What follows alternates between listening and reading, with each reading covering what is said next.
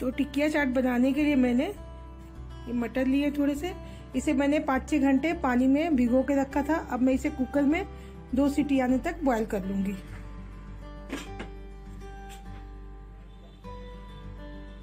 देखिए, दो सीटी हो गया। हमारा मटर अच्छी तरह बॉयल हो चुका। हम इसे गैस से उतार देंगे। अब हम एक कढ़ाई लेंगे। इसमें थोड़ा सा ऑयल डालेंगे।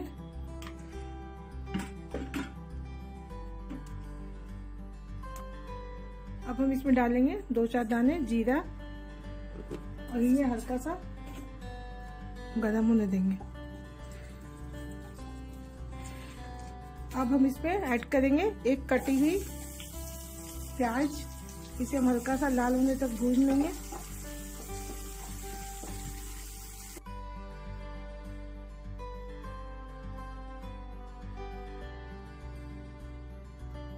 हम इसमें डालेंगे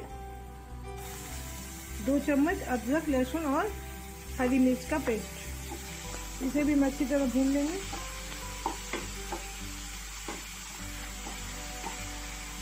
इसके बाद हम इसमें ऐड करेंगे एक छोटी चम्मच हल्दी। इन सबको मिक्स करके हम अच्छी तरह भून लेंगे।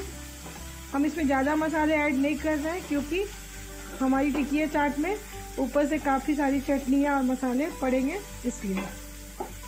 इसे मैंने अच्छी तरह भून लिया। अब मैं इसमें डालूँगी जो मैंने मटर बॉयल किया है ना, उसे। मैं इसमें डालूँगी अपने टेस्ट के अकॉर्डिंग नमक। आप अपने नमक टेस्ट के अकॉर्डिंग डालें, ज़्यादा ना डालें। और अब मैं इसे अच्छी तरह मिक्स कर दूँगी। और ये हमारी टिकिया चाट के लिए मटर की ग्रेवी बन के रेडी हो चुकी है। अब मैं इसे गैस को बंद कर दूँगी। अब मैं अपनी टिकिया की तैयारी करूँगी। बनाने के लिए सबसे पहले मैंने लिया एक बाउल और इसमें अभी मैं, मैंने पाँच छः उबले हुए आलू लिए हैं। इसे मैं अच्छी तरह से ग्रेड कर लूँगी, जिससे हमारे आलू में एक भी गुठलिया ना रहे। मैंने अपने सारे आलूओं को ग्रेड कर लिया। अब मैं इसमें डालूँगी एक कटी हुई प्याज। और इसमें डालूँगी मैं अपने टेस्ट के अकॉर्डिंग नमक।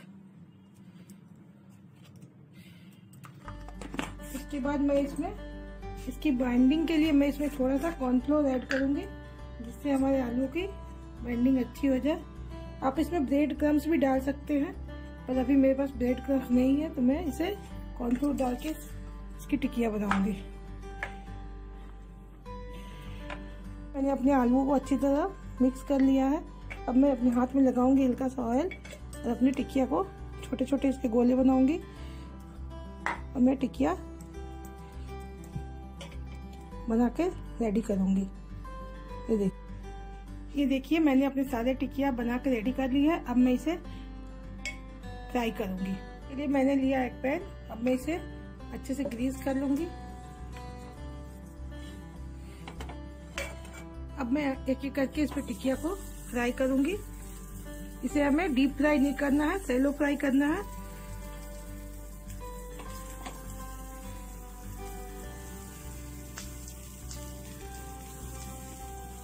इसे धीरे धीरे पलट पलट के हम इसे फ्राई करेंगे। हम अपने आँच को मीडियम रखेंगे ताकि अच्छी तरह फ्राई हो जाए। ये देखिए, हम इसे पलट पलट के लाल होने तक अच्छी तरह सैलो फ्राई कर लेंगे। मैंने सारे टिक्कियों को अच्छी तरह सेक लिया, अब मैं इसे निकाल लूँगी।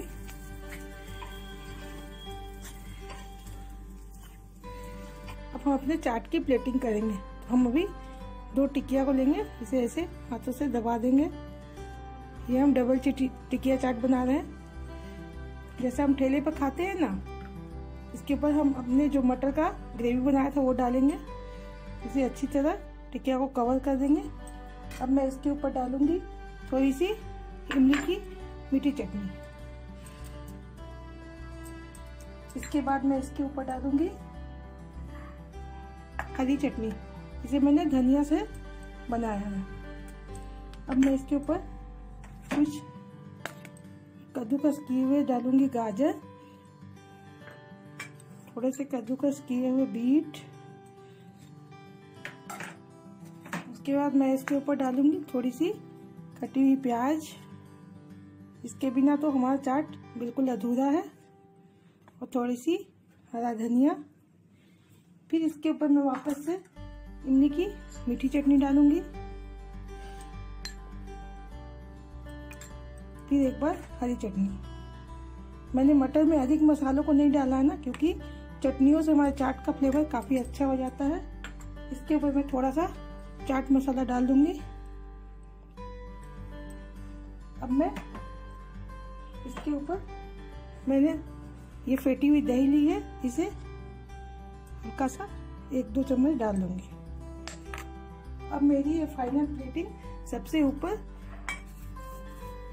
जो छोटी वाली सेव होती है ना, मैं इसे डाल दूँगी। और ये देखिए, ये हमारा स्ट्रीट स्टाइल टिकिया चाट बन के बिल्कुल रेडी हो गया है।